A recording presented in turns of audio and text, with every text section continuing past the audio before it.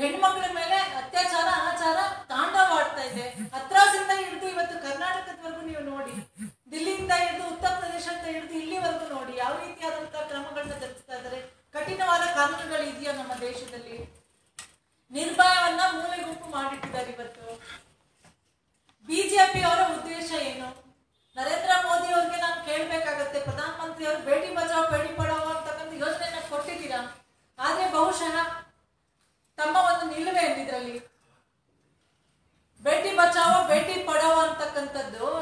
ನೋಡಿ ಸ್ವಾಮಿ, ಬರೀ ನಾಮಕವಸ್ಥೆ ಆಗ್ತಕ್ಕಂತ ಒಂದು ಉದ್ದೇಶವಾಗಬಾರ್ದು.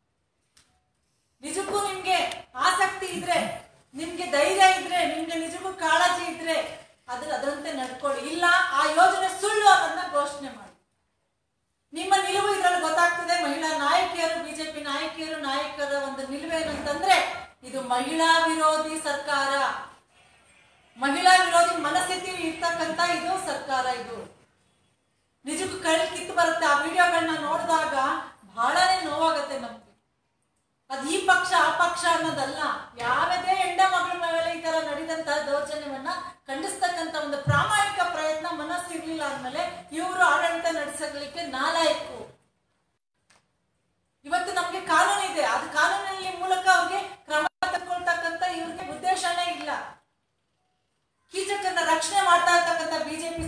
ಸರ್ಕಾರವನ್ನ ನಾವಿವತ್ತು ನಿಜಕ್ಕೂ ಕೂಡ ಬಹಳ ನೋವಿನಿಂದ ಪ್ರಶ್ನೆ ಮಾಡಬೇಕಾಗತ್ತೆ.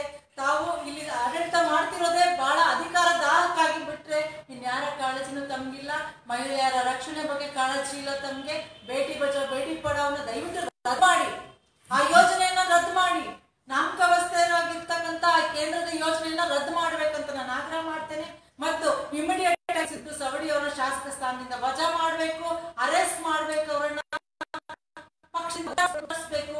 ಮತ್ತು ಅವ್ರು ಹೇಳಿಕೆ ಕೊಡ್ತಾರೆ, ಒಂದು ತೀರಾ ಕಲ್, ಕಳಪೆ ಹೇಳಿಕೆ ಕೊಡ್ತಾರೆ ಅಭಾಷಣ ಏನು ಆಗಿಲ್ಲ ಅಂತೇಳಿ. ಏನ್ರಿ? ಆ ಹೆಣ್ಣು ಮಗಳ ಮನಸ್ಥಿತಿ ಗೊತ್ತಾ ನಿಮ್ಗೆ? ಯಾವ ರೀತಿ ಆಗತ್ತೆ ಅನ್ನೋದೇನಾದ್ರೂ ಗೊತ್ತಿದೆ ನಿಮ್ಗೆ? ನಿಮ್ಗೆ ನೀವು ಡಾಕ್ಟ್ರ ನೀವು. ಕಾನೂನಿದೆ, ಸರ್ಕಾರದ ದಾಖಲೆಗಳಿದ್ದಾವೆ ಈ ರೀತಿಯಾದಂತಹ ಬಹಿರಂಗವಾಗಿ ಹೇಳಿಕೆಯನ್ನು ಕೊಡ್ಲಿಕ್ಕೆ ಏನ್ ನಾಚಿಕೆ ಆಗೋದಿಲ್ವಾ ನಿಮ್ಗೆ? ಒಬ್ಬ ಹೆಣ್ಮಗಳ ಮೇಲೆ ಹೋಗ್ಲಿ, ನಾನು ನಾನು ತಪ್ಪು ಮಾಡಿದೀನಿ ಅಂತಕ್ಕಂಥ ಮನಸ್ಥಿತಿನೇ ಬರಲಿಲ್ಲ ಅಂದ್ಮೇಲೆ ಕ್ಷಮೆ ಯಾವ ರೀತಿಯಾದಂತ ನೀವು ಆಡಳಿತವನ್ನ ಕೊಡ್ತೀರಿ, ಯಾವ ರೀತಿ ಅಂತ ನ್ಯಾಯ ಕೊಡ್ತೀರಾ ನಿಮ್ಮ ಸ್ಥಾನಕ್ಕೆ? ನೀವಾಗಿ ನೀವೇ ರಾಜೀನಾಮೆ ಕೊಡ್ಬೇಕು ಅಂತ ಒಂದು ಸ್ಥಿತಿಯನ್ನ ತಾವೇ ನಿರ್ಮಾಣ ಮಾಡಿದ್ದೀರಾ ಇವತ್ತು? ನಾವಿವತ್ತು ಮಹಿಳಾ ಕಾಂಗ್ರೆಸ್ನಿಂದ ಇವತ್ತು ನಮ್ಮ ಶಾಸಕಿಯಾದಂತಹ ಸಹೋದರಿ ಸೌಮ್ಯ ರೆಡ್ಡಿ ಅವರು ಇವಾಗ ನಮ್ಮ ಪತ್ರಿಕಾ ಗೋಷ್ಠಿಗೆ ಜಾಯಿನ್ ಆಗಿದ್ದಾರೆ.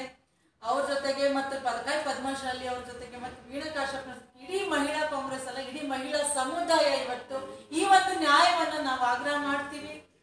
ಆದಷ್ಟು ಶೀಘ್ರವಾಗಿ ನಮ್ಗೆ ನ್ಯಾಯ ಸಿಗ್ಬೇಕಂತ ನಾವು ಕೇಳ್ಕೊಳ್ತೇವೆ.